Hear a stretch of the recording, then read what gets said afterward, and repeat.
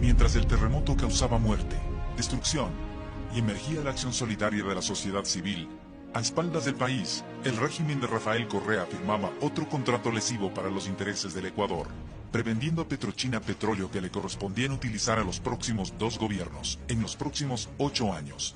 Es decir, que no solo la revolución ciudadana se gastó el ahorro de los fonditos petroleros, además de los ingresos de 10 años de bonanza petrolera, sino que ahora se ha tomado la plata del petróleo de todos los ecuatorianos hasta el año 2026. He aquí la verdad de los hechos.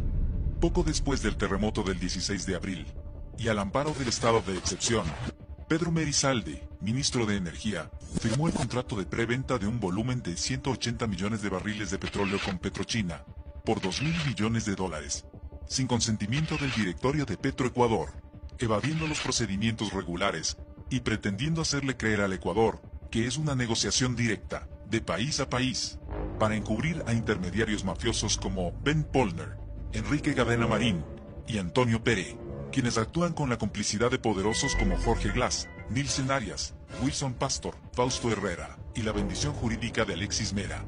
Todos ellos artífices y autores intelectuales de este nuevo atraco y reparto. Intervienen en este contrato Petroecuador, Petrochina, el Ministerio de Finanzas y el CDB, China Development Bank, banco chino que impone las condiciones. El plazo de entrega del crudo es de 8 años, del 2018 al 2026. Esto porque la producción de 2016 y 2017 ya están comprometidas a la misma Petrochina y a la PPT de Tailandia. Con esta venta anticipada de crudo a Petrochina, el país asume una deuda al CDB de 2 mil millones de dólares.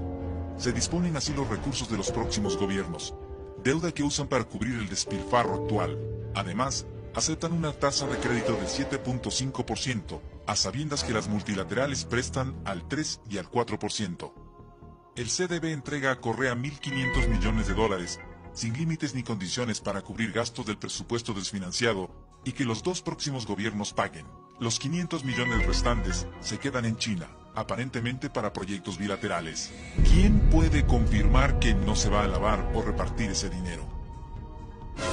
Nielsen Arias firma además una carta de garantía soberana, esto es, la cesión de nuestra soberanía a favor de Petrochina, para que tenga la potestad de embargarnos nuestro crudo en cualquier parte del mundo, el momento que quieran. Esto es traición a la patria, porque nuestra soberanía la han puesto en manos de mafiosos intermediarios y banqueros chinos. Pero detrás de estas negociaciones están poderosas mafias internacionales de intermediarios, verdaderos círculos de corrupción.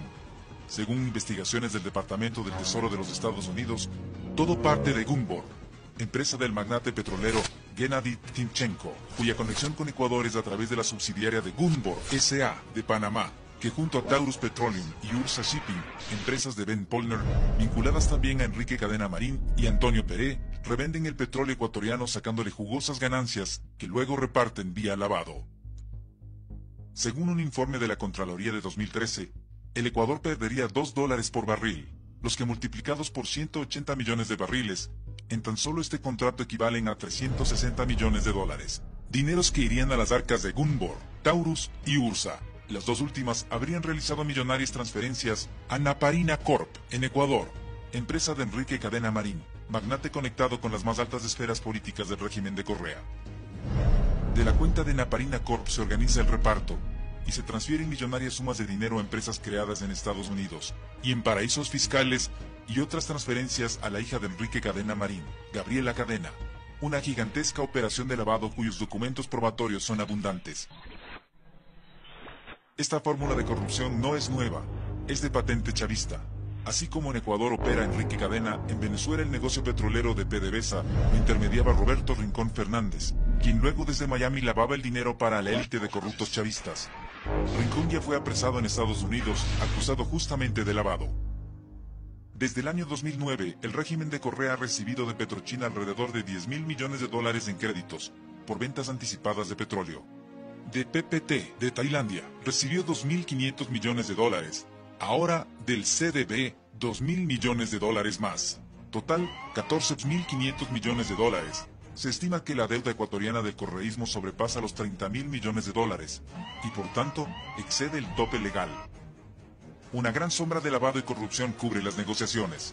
En el futuro, el Ecuador va a reconocer estos compromisos viciados de nulidad y firmados de espaldas del pueblo ecuatoriano en forma ilegítima?